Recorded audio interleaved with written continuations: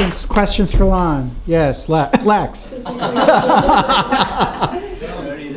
It's just the fact that in order to be sympathetic, you have to talk to random strangers on a bus. kind of bothers me a lot. So in other words, in order to be empathetic, you need to have a proper communication with everybody else.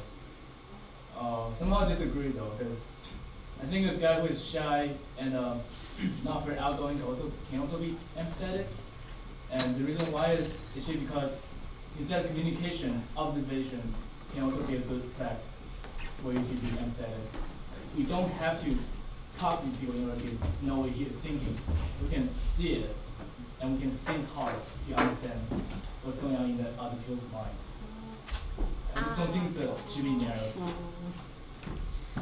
So first, I didn't say that in order to empathize, we should talk to people, but we should pay close attention to what they do. Like you say, observe. Yeah. So then, you were saying if you just sit on the same table, same chair, and with the same group of people, you cannot really be empathetic. No, no, no. Yeah, I mean, That's this another part though.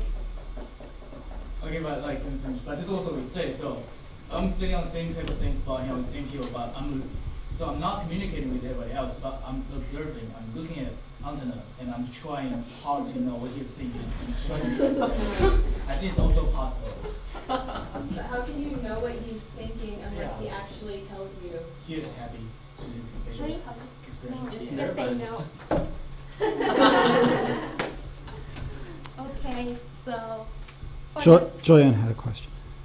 the- Uh, well, I think going off of Lex's thing, I think if you uh, know certain events around that person, you don't have to necessarily talk to them. Like for example, if if I know this thing happened and this thing happened, and then I look at them and then they're acting in this way, then you'll have this like range of things that they could be thinking about. And, uh, but besides that, I was wondering, uh, why would uh, psychopathy be uh, dangerous? They know about, the people that have psychopathy know about your thoughts, but they don't have emotional connection to you. They will not empathize with you. They know about your thoughts, but that may have another purpose of like making you feel better. So what's the difference between psychopathy and sympathy? like sympathy, people know about your feeling and your thoughts, but they still want to make you feel better.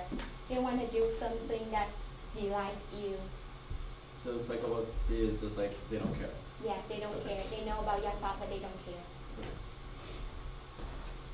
Uh, you said don't trust the people who says to you like uh, your boyfriend or love girlfriend or other person like said I love you or other stuff.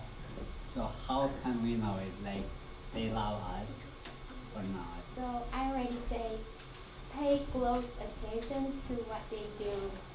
If they love you, they will do something that make you happy instead of not caring for you and doing some bad thing for you. Like my parents love me, but they never say it, but I know it.